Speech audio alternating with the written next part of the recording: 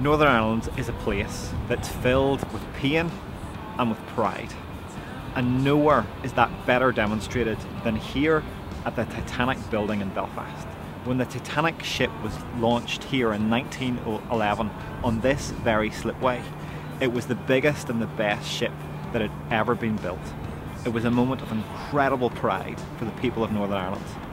And yet, when it sank a year later, 1,500 people lost their lives. It was a moment of immense pain.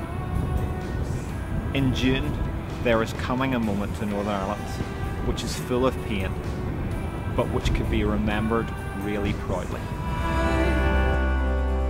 Am I singing? One in eight people go to bed hungry every day.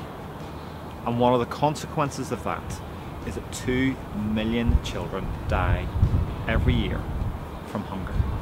That's the equivalent of three Titanics sinking every single day.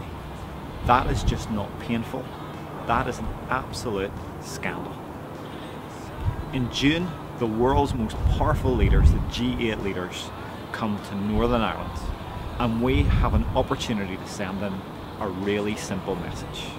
There is enough food in the world for everyone, but not everyone has enough food. Wouldn't it be an amazingly proud thing to be part of?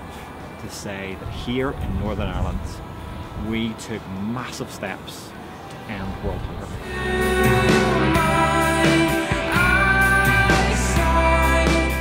Pray with us at 108 every day at lunchtime for the one in eight who go to bed hungry. I'd invite you to set your alarm on your phone now and do just that.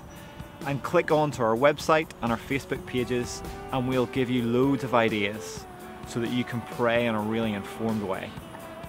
Secondly, send your message to David Cameron and make your voice heard about this important issue.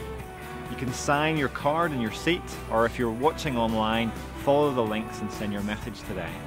Through the prophet Isaiah, God shouts at us to loose the chains of injustice and to share our food with the hungry. This is our opportunity at our time in our generation to do something about the scourge and the pain of hunger in our world. This is an opportunity for us to build a world that we can be proud of join us.